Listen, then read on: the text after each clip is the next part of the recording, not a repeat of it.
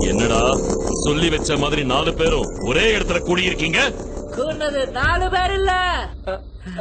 அஞ்சு பேர். அஞ்சா? யாரா அந்த அஞ்சாவது ஆளு? யாருக்கும்? அஞ்சாவது ஆளு. அங்க பாரு.